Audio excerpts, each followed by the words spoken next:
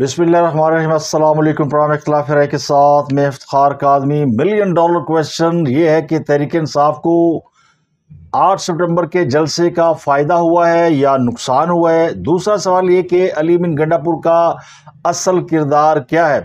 یہ دو سوالوں کے جواب جاننا بہت ضروری ہے کیونکہ آٹھ سپٹمبر کے جلسے کے بعد بظاہر تحریک انصاف کے ساتھ دو بڑے کام ہوئے۔ اس کی مرکزی قیادت کے خلاف مقدمات درج ہوئے۔ ہیں مقدمات پہلے بھی درج ہوتے رہے ہیں، لیکن اس بار یہ ہوا کہ اراکین اسمبلی کو پارلیمنٹ کے اندر گھس کر گرفتار کرنے کا دعویٰ کیا گیا ہے۔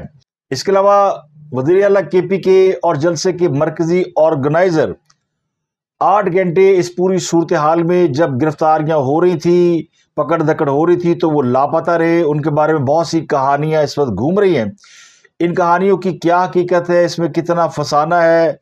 کیا ان کو بھی اپنے قائد محترم کی طرح چپیڑے پڑی ہیں یا بات اس سے کہیں زیادہ آگے کی ہے؟ اور ان کا جو جوش و جذبہ تھا، وہ اچانک ٹھنڈا کیوں پڑا ہے؟ کیونکہ اطلاعات یہ ہے کہ وزیر اعلیٰ کے پی کے بیمار پڑ گئے ہیں۔ آٹھ گھنٹے والی جو کہانی ہے، وہ بھی آپ کو اس کی حقیقت بتائیں گے۔ دوسری بڑی خبر، دوسری بڑی خبر جو ہے، وہ قومی اسمبلی کے حوالے سے ہے، پارلیمان کے حوالے سے ہے۔ آج پوری پارلیمان سراپا احتجاج بنی ہوئی تھی کہ پولیس جو ہے وہ پارلیمان کے اندر گھسی ہے اور اس نے پارلیمان کے اندر گھس کر اراکین اسمبلی کو گرفتار کیا ہے۔ یہ تمام منتخب اراکین اسمبلی ہیں، پارلیمان کو آئین نے تحفظ دیا ہوا ہے۔ جہاں پر پولیس تو بڑی دور کی بات ہے، پرندہ بھی پر نہیں مار سکتا، فوج بھی نہیں گھس سکتی، آئین قانون اس بات کی اجازت نہیں دیتا۔ تو جب تک پاکستان کا آئین موجود ہے، تب تک کوئی بھی ادارہ اس کے اندر گھس کر ان کو گرفتار نہیں کر سکتا۔ ویسے بھی پارلیمان کے اندر جو تقاریر ہوتی ہے، جو باتیں ہوتی ہے ان کو عدالت بھی نہیں پکڑ سکتی۔ تو اتنی مقدس ایوان میں سے جو گرفتاریاں ہوئی ہیں، اس میں بڑا شور مچا ہے۔ تو اسپیکر قومی اسمبلی نے اس پہ ایکشن لیا ہے۔ وہ ایکشن کیا ہے، آپ کو بتائیں گے۔ اس کے علاوہ جنرل فیض امیر سے تحقیقات مکمل ہو گئی ہیں۔ ان کے کیس میں تقریباً دو سو افراد کو گرفتار کر کے تحقیقات کی گئی ہیں۔ اس کی تفصیلات آپ کو بتائیں گے۔ اس کے علاوہ لاہور ہائی کورٹ نے نادرہ کے chairman lieutenant general Muhammad Munir Afsar کو عہدے سے ہٹانے کے خلاف اپیل منظور کر لی ہے اور سنگل بینچ کا فیصلہ معطل کر دیا ہے۔ لیفٹیننٹ جنرل محمد منیر نادرہ کے چیئرمین کے عہدے پر بحال ہو گئے ہیں۔ اس کے علاوہ عمران خان کو توشہانہ کیس میں سزا سنانے والے جج کے خلاف کے پی کی حکومت کی انتقامی کارروائیاں جاری ہیں۔ ان کے خلاف ایک کیس ہے سرکاری ریاض پر قبضے کا۔ تو بنو کے جوڈیشل مجسٹر نے اسپیشل جج ہمایوں دلاور کے وارنٹ گرفتاری جاری کر دی ہے۔ نہ صرف ان کے بلکہ ان کے بھائی صادق دلاور والد دلاور خان کے بھی وارنٹ گرفتاری جاری کیے گئے ہیں۔ اس کے علاوہ پی ٹی اے کے کل رات کو مزید کئی لوگ گرفتار ہوئے، ان کی آپ کو ڈیٹیل بتائیں گے۔ کچھ لوگ جو ہے وہ چھوڑ دیے گئے ہیں۔ تو کہنے والے کہتے ہیں کہ جو کام نو مئی نہیں کر سکا، وہ کام آٹھ سپٹمبر کے جلسے نے کر دکھایا۔ اور پی ٹی آئی کا یہ خدشہ درست ثابت ہوا ہے کہ ایک اور نو مئی ان کے ساتھ ہونے جا رہا ہے۔ اور وہ ہو چکا ہے۔ تو ذرا پی ٹی اے والے دل پر ہاتھ رکھ کر دو منٹ تسلی سے اس بات پر غور کر لیں کہ اگر تحریک انصاف کی قیادت آٹھ سپٹمبر کے جلسے میں بہیو کرتی اور فوج پر تنقید کی بجائے سیاسی قیادت کو نشانہ بنا لیتی، سیاستدان ایک دوسرے کو برا بلا کہتے ہیں، ایک دوسرے کا پیٹ پھاڑنے کی باتیں کرتے ہیں اور پھر ایک ہی فورم میں اکٹھے ہو جاتے ہیں، تو ان کو زیادہ فرق نہیں پڑتا۔ اور سب کو پتہ ہے کہ سیاسی قیادت جو ہے یا سیاسی جماعتیں ایک دوسرے کے خلاف اسی طرح کی بلو دا بیلٹ الزام تراشی کرتی ہیں۔ لیکن ادارے جنہیں آئین نے تحفظ دیا ہوا ان میں فوج اور عدلیہ یقینی طور پر وہ ادارے ہیں جن کے حوالے سے آپ بلو دا بیلٹ نہیں جا سکتے۔ اگر یہ سب کچھ نہ ہوتا یعنی حکومت پہ تنقید ہوتی، فوج پہ کم ہوتی اور دشمنی کی بجائے اگر میانہ روی سے بات کر لی جاتی تو کوئی قیامت نہیں آ جاتی۔ پی ٹی اے کے بیانیے میں کوئی فرق نہیں پڑتا۔ پی ٹی اے کا ووٹ بینک کم نہیں ہوتا۔ عمران خان کا ووٹر اور سپورٹر نہیں ٹوٹ جاتا۔ یہ جو تحریک انصاف والے سمجھتے ہیں کہ اگر کسی وجہ سے انہوں نے سیاست کے اندر نرمی اختیار کر لی یا ایک سمجھداری کا ثبوت دیا تو شاید ان کا ووٹر سپورٹر ٹوٹ جائے گا۔ وہ یہ سمجھتے ہیں کہ جو معاشرے کے اندر اگریسو لوگ ہیں وہ ان کے ساتھ ہیں۔ اور وہ کبھی ان کو اس طرح کا یو ٹرن نہیں لینے دیں گے تو جو جماعت یا اس کے سربراہ ہزار سے زیادہ یو ٹرن لے چکے ہوں، ان کے لیے اس قسم کا یو ٹرن لینا کوئی مشکل نہیں ہے۔ نہ ہی ان کے لوگوں کو کوئی فرق پڑتا ہے۔ خاص اب جو کلیم کرتے کہ بڑے پاپولر ہیں، تو اس پاپولیٹی کو انہوں نے جس طرح نیگیٹو رنگ دیا ہوا، اس کو پازیٹیو بھی دے سکتے ہیں۔ تو اگر وہ یہ جلسے میں یہ سب کچھ نہ کرتے، پی ٹی آئی کے لیے راستے اور ہموار ہو جاتے، تو پی ٹی آئی نے یہی کہہ کر جلسے کی اجازت لی تھی کہ وہ بیہیو کریں گے۔ اور جلسے میں اکثر جو لوگ تھے، انہوں نے بیہیو کیا۔ لیکن جو مین جلسے کا کردار تھا، جو جلسے کا روح روا تھا، جو فنینسر تھا، جو پروڈیوسر تھا، جو آرگنائزر تھا، جس کی یہ پروڈکٹ تھی اسی نے تمام حدیں کراس کر دیں۔ تو آخر ایسا کیوں ہوا؟ علی بن گنڈا پور جن کے اسٹیبلشمنٹ کے ساتھ رابطے تھے، وہ عمران خان کے ساتھ اسٹیبلشمنٹ کے معاملات میں گرنٹر بنے ہوئے تھے، انہی نے سب کے اوپر بم دے مارا۔ پی ٹی آئی نے دو کام کرنے تھے، جلسہ وقت پہ ختم کرتی اور کنفرنٹ کرنے سے گریز کرتی۔ یہ کوئی بڑی راکٹ سائز نہیں ہے، تاکہ ان کے اسٹیبلشمنٹ کے ساتھ جو تعلقات ہیں وہ بہتری کی جانب جاتے۔ اور اسٹیبلشمنٹ بھی یہ سمجھتی کہ ہاں پی ٹی اب راہ راست پر آ گئی ہے۔ اور وہ سیاسی معاملات کو بہتر انداز میں لے کر چلنے کے لیے قائل ہو گئے ہیں۔ تو ان کے ساتھ اسٹیبلشمنٹ معاملات آگے چلا سکتی تھی، لیکن ایسا نہیں ہوا۔ گنڈا پور نے وہ تقریر کی اور ان کی تقریر کے پیچھے دو چیزیں سمجھی جا سکتی، یا تو وہ نشے میں تھے، یا وہ جان بوجھ کر ہی سب کر رہے تھے۔ کیونکہ تقریر جو تھی وہ بیونڈ ایکسپیکٹیشن گئی ہے۔ انہیں علم تھا کہ اس تقریر کا نتیجہ کیا نکلے گا۔ اب میرا گمان یہ کہ اگر وہ نشے میں ہوتے تو پھر وہ ڈیڈ لائن نہ دیتے، پھر وہ لوگوں کو کہتے کہ چلو کدالیں پکڑو، کرینے اٹھاؤ اور اڈیالہ جیل کی دیواریں گرا دو۔ اور عمران خان کو رہا کرانے کی کوشش کرتے تو اتنے بھی نشے میں نہیں تھے جو اس قسم کی حرکتیں کرتے۔ تو پھر انہوں نے جو دوسری حرکت کی، وہ پھر انہوں نے ہوش آواز میں کی ہوگی اور وہ فوج کے خلاف بڑی سخت تقریر کی۔ جس کا پتہ لوگوں کو اگلے روز چلا، کیونکہ جب وہ تقریر کر رہے تھے، تو بہت سے لوگ جو ہے وہ تقریر سننے کے لیے موجود ہی نہیں تھے اور نہ وہ تقریر کہیں براہ راست دکھائی جا رہی تھی۔ اگلے دن اس کا ریئیکشن شروع ہوتا ہے اور علی بن گنڈا پور کو کے پی کے سے بلایا جاتا ہے۔ اور اب اس کے دو ورژن ہیں۔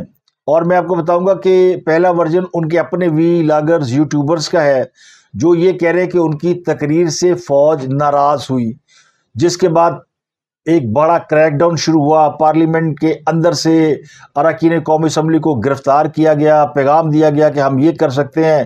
پارلیمنٹ کا تقدس بھی ہمارے سامنے کچھ نہیں ہے۔ دوسرا فوج نے انہیں بلا کر کسی سیف ہاؤس میں ان کی دھلائی کی، منجائی کی یا کھچائی کی۔ کچھ تو ایسا کیا جس سے یہ تاثر ملتا ہے کہ ایک منتخب وزیر اعلیٰ کے ساتھ بدسلوکی کی گئی ہے۔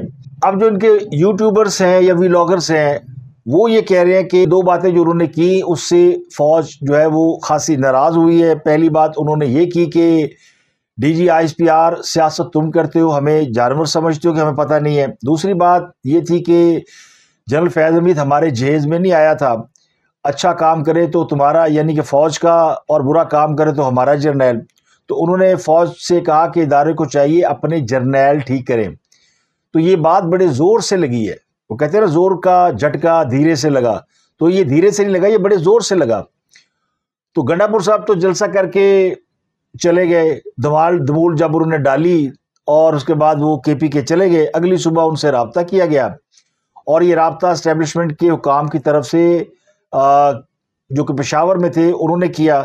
جو اسٹیبلشمنٹ کی ہائی کمان ہے پشاور کے اندر ان کا چیف منسٹر سے رابطہ رہتا ہے۔ یہ کوئی حیرانی کی بات نہیں ہے۔ میں آپ کو سارا ورژن ان کے ویلاگرس کا بتا رہا ہوں۔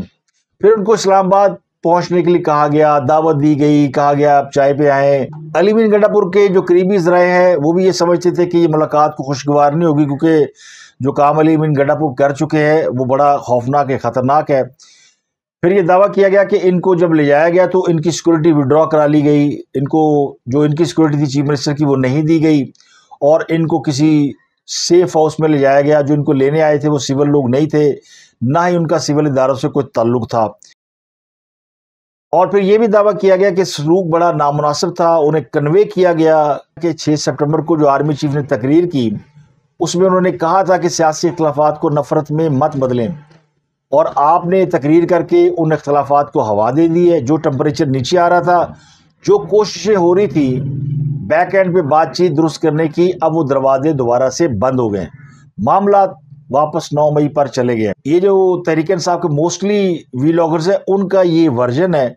اب اس میں دو چیزوں کا اور اضافہ کیا گیا ہے، اور وہ یہ کہ علی من گنڈا پور سے استعفیٰ مانگا گیا ہے۔ لیکن اس نے استعفیٰ نہیں دیا، وہ ڈٹ گیا اور اس نے تن دیا، اس نے لمحے پا دیا۔ اور ان سے کہا گیا کہ یا پھر معافی مانگے اور معافی سے کم میں بات نہیں بنے گی۔ تو وہ انکار کر کے گھر لوٹ گئے۔ عمران خان کی طرح انہوں نے جھکنے سے انکار کیا۔ چلیں جی بڑا اچھا کام کیا۔ آدھے صافی اس پر ویلاگ کر رہے ہیں کہ معافی مانگو یا استعفیٰ دو۔ آدھے صافی کہہ رہے گورنر راج لگ رہا ہے۔ تو میں آپ کو سارے ورژن بتا رہا ہوں۔ پھر میں آپ کو ایک اور اس کی جو دلچسپ پہلو ہے وہ بھی بتاؤں گا۔ ایک اور بڑے رپورٹر ہے فخر دورانی ان کی بھی انفارمیشن یہ ہے۔ وہ کہتے ہیں، علی مین گنڈا پور کو نہ اسلام آباد لے جایا گیا۔ نہ راول پنڈی کے کسی جگہ پہ لے جایا گیا، اسلام آباد میں آپ پارا بڑی مشہور جگہ ہے، وہاں بھی نہیں لے کے گئے، ان کو Rawal Pindi G H Q میں بھی نہیں لے کے گئے، تو پھر ان کو کہاں لے کر گئے؟ ان کا دعویٰ یہ کہ جہاں پر اسلام آباد کے اندر وزیر اعلیٰ ہاؤس ہے کے پی کے کا، اور وہاں پنجاب ہاؤس بھی اور بھی جگہ ہے، تو ان کے قریب ہی کہیں کسی گھر میں وہاں پہ ان کے ساتھ ملاقات کی گئی، اور ان کو زیادہ دور نہیں لے آیا گیا، البتہ ان کو ٹف ٹائم دیا گیا ہے۔ اور انہیں بتایا گیا کہ حکومت اور اسٹیٹ کی پالیسی کیا ہے۔ اب اس میں وائلیشن ہوئی تو نیکسٹ اس پر آپ کو کوئی ریلیف نہیں ملے گا۔ تو وہ بھی یہ بتا رہے ہیں کہ ان سے اچھا سلوک نہیں ہوا۔ کچھ صحابی تو بہت حد تک آگے چلے گیا وہ کہتے ہیں جناب، کئی گھنٹے کن پڑھائے کوئی کہتا تھپڑ مارے گئے۔ تو جس کی جو انفارمیشن ہے، میں چیلنج نہیں کر رہا ہوں۔ لوگ اسلام آباد میں بیٹھے ہیں تو ہو سکتا ہے ان کے پاس یہ انفارمیشن ہو۔ ایک صحافی نے تو یہ بھی دعویٰ کیا کہ وہ ویڈیو کال پہ دیکھ رہا تھا۔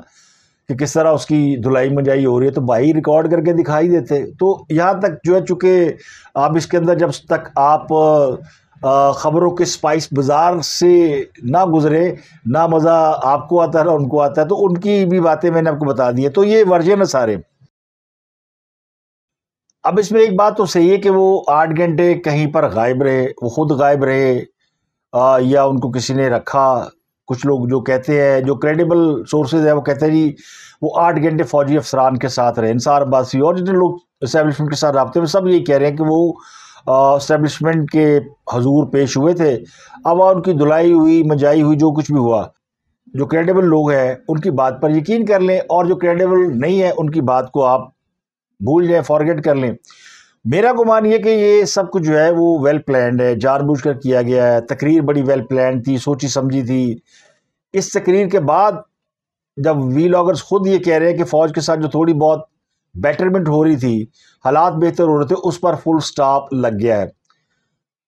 تو کیا علی من گنڈا پور نے پی ٹی آئی کی خدمت کی ہے یا ان کے ساتھ بیک سٹیپ کیا ہے؟ یعنی ان کی کمر میں چھرا گھونپا ہے یہ سروس ویسے پی ٹی آئی کے بہت سے لوگ دینے کے لیے تیار تھے، لیکن عمران خان صاحب نے علی من گنڈا پور کا انتخاب کیا کیونکہ انہیں علی من گنڈا پور کے اوپر اعتماد آ گیا۔ تو بڑی آسان سی سائنس ہے، اگر علی من گنڈا پور کے اسٹیبلشمنٹ سے اچھے تعلقات ہوتے، تو وہ کبھی ان کے خلاف اتنی آؤٹ آف دی وے جا کے تقریر نہ کرتے۔ اور ان کی جماعت کے خلاف کریک ڈاؤن بھی نہ ہوتا۔ اور پاکستان کے سب سے بڑے مقدس ایوان پارلیمان کی اس طرح حرمت کمپرومائز نہ ہوتی۔ اس کے باوجود اگر پی ٹی آئی کے لوگ یہ سمجھتے ہیں کہ علی من گنڈا پور لائل ہے، تو ان کی مرضی مجھے تو وہ رانگ نمبر لگتے ہیں۔ دیکھیں انہوں نے آٹھ گھنٹے غائب رہے تو رائے عامہ ان کے حق میں ہموار ہوئی اور کسی نے نہیں بتایا کہ وہ گرفتار ہیں۔ کسی سرکاری ذرائع نے، غیر سرکاری ذرائع نے یہ نہیں کہا کہ وہ فوج کے ساتھ میٹنگ میں ہیں۔ ان کے جو ترجمان ہیں بیرسر سیف، انہوں نے بھی نہیں کہا کہ وہ فوج کی دعوت پر گئے ہیں اسٹیبلشمنٹ کے ساتھ چائے پینے گئے ہیں۔ انہوں نے صرف اتنا کہا کہ وہ غائب ہیں، ان کے فون بند ہیں۔ تو خدشہ یہ کہ انہیں گرفتار کر لیا گیا یا میں لے لیا گیا۔ تو جب تک بیرسٹر سیف نے نہیں کہا، اس وقت تک کسی کے گمان میں بھی نہیں تھا کہ علیمن گنڈا پور کہاں ہے۔ تو رایا ہموار ہو گئی۔ سیاست کے سینے میں دل نہیں ہوتا۔ معلاتی سازشیں کوئی آج سے نہیں ہو رہی، تاریخ آپ کے سامنے ہے۔ اگر آپ تاریخ کے طالب علم ہیں تو آپ کو باتیں سمجھ میں آ جائیں گی۔ اگر آپ تاریخ کے طالب علم نہیں ہیں اور صرف علم شلمیں دیکھ کے آپ کو تاریخ کی سمجھ آتی ہے، تو پھر آپ کے پاس حقائق اسی طرح آئیں گے اور آپ کو اسی طرح کی فکشن کہانیوں پہ یقین آئے گا جس میں حقیقت بہت کم ہوتی ہے۔ میں آپ کو ایک اور لاجک دے دیتا ہوں۔ اگر فوج علی مین گنڈا پور سے اتنی ناراض تھی، تو پھر اگلے روز کے پی کے میں گورنر راج لگ چکا ہوتا۔ اب تک وہ استعفیٰ دے چکے ہوتے، علی مین گنڈا پور فارغ ہو جاتا۔ اب یہ بھی ہو سکتا ہے کہ اس کو کلین چٹ دینے کے لیے یہ حتمی قدم بھی اٹھایا جائے۔ علی بن گنڈاپور نے ایک اور کام کیا۔ اب میں اس کو کنکلوڈ کر رہا ہوں کہ انہوں نے جو تقریر کی، اس کا ریئیکشن لینے کے لیے انہوں نے میڈیا کو برا بلا کہا۔ یہ بھی انٹینشنلی تھا۔ ورنہ آٹھ سپٹمبر کے جلسے سے میڈیا کا کیا لینا دینا؟ انہوں نے میڈیا کو جان بوجھ کر گرل کیا تاکہ میڈیا جو ہے وہ اس کو مرچیں لگے وہ ساری ناراض ہوں اور پاکستان کا پورا میڈیا ناراض ہوا۔ پارلیمنٹرین جا کے انہیں منایا۔ تو میڈیا کو ناراض کرنے کا مقصد یہ تھا کہ میڈیا جو ہے وہ پھر علی بن گڈاپور کے تقریر کو لے کے ادم مچائے اور مچایا گیا۔ اور انہوں نے ایک ایک چیز علی بن گڈاپور کی جو ہے وہ نکال کے بتائی کہ اس نے کیا کیا۔ تو یہ بھی میں سمجھتا ہوں کہ یہ بھی انٹینشنل کیا گیا۔ ویل پلان تھا یا ویل پلان ہے۔ جب سارے میڈیا نے ان کا بیان ہائی لائٹ کر دیا کہ یہ عورتوں کو گالیاں دے رہا ہے، صحافیوں کو دھمکیاں دے رہا ہے، فوج کے بارے میں بری باتیں کر رہا ہے۔ لوگوں نے اسٹیبلشمنٹ سے بھی شکایت کی۔ تو پھر ظاہر ہے، ان کی تسلی کرانا بھی ضروری تھی۔ اب نون لیگ کا پرابلم یہ ہے کہ یہ بڑی جلدی ہتھیار ڈال دیتے ہیں۔ یہ خود کچھ کرتے نہیں، کوئی دوسرا کرے تو ان سے وہ بوجھ اٹھایا نہیں جاتا۔ دوسری بڑی خبر ہے پارلیمان کے حوالے سے۔ کیا پولیس نے پارلیمان کے اندر گھس کر ارکان اسمبلی کو گرفتار کیا؟ کیونکہ اس پر سارے پارلیمان کے اندر ناراضگی پائی جاتی ہے۔ حکومت تو جسٹیفائی کرتی ہے، لیکن ان کے اتحادی اپوزیشن سب اس پہ چلا رہے ہیں۔ ہر رکن اسمبلی یہ سمجھتا ہے کہ اب وہ غیر محفوظ ہو گیا ہے اور پولیس اس کو کسی بھی وقت ایوان میں گھس کے گرفتار کر لے گی جس میں انہیں امیونٹی حاصل تھی۔ تو اسپیکر قومی اسمبلی نے خاصی ناراضگی کا اظہار کیا۔ ظاہر ہے وہ جب پورا پارلیمان کہہ رہا ہے کہ اسپیکر صاحب کچھ کرو، پارلیمان کے اندر حملہ ہوا، بڑی سخت تقریر ہے پارلیمان کے اندر ہوئے۔ ایک دوسرے کے اوپر الزام تراشی بھی ہوئی، حکومت اور اس کے اتحادیوں نے برمی کا اظہار کیا کہ پارلیمان کے اندر جو ہے وہ تقدس کو پامال کیا گیا ہے۔ کل رات جو لیٹ نائٹ گرفتاریاں ہوئی اس میں کچھ لوگوں کے بارے میں کہا گیا کہ وہ پارلیمان کی بتیاں بجھا کے اندر داخل ہوئے اور پھر اندر سے لوگوں کو پکڑ کے باہر لائے۔ جس پر اسپیکر صاحب پھر آج پورے یعنی اجلاس کے بعد ایکشن میں آئے، انہوں نے چیمبر کے اندر سب کو بلایا۔ اپوزیشن کے لوگوں کو، حکومت کے لوگوں کو حکومت نے بھی ان کی بات کو سنا اور اسپیکر صاحب نے جب ایوان کے اندر اس بات کا اعلان کیا کہ وہ جس کسی نے بھی ایسی حرکت کی ہے، پارلیمان کا تقدس پامال کیا، اس کے خلاف وہ ایف آئی آر کٹوائیں گے۔ انہوں نے ماضی کے کچھ واقعات کا حوالہ بھی دیا اور انہوں نے کہا کہ اس سے پہلے بھی دو ہزار چودہ میں ایک سیاسی رہنما ان کے سیاسی کزن نے پارلیمنٹ پر حملہ کیا تھا۔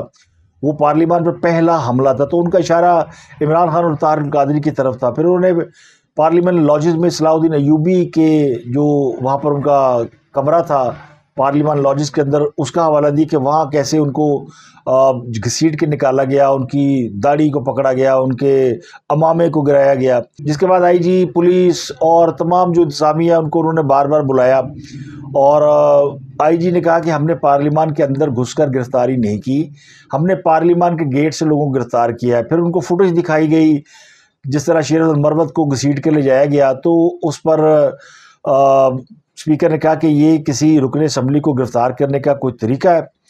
تو انہوں نے کہا کہ میں آپ کو مکمل رپورٹ دیتا ہوں، مجھے کورٹ نے بلایا ہے۔ تو اس کے بعد وہ کورٹ چلے گئے۔ اسپیکر نے تمام گرفتار لوگوں کی رہائی کا حکم دیا ہے۔ ان لوگوں کی رہائی کا جن کے اوپر ایف آئی آر نہیں ہے، جن کا نام ایف آئی آر میں درج نہیں ہے۔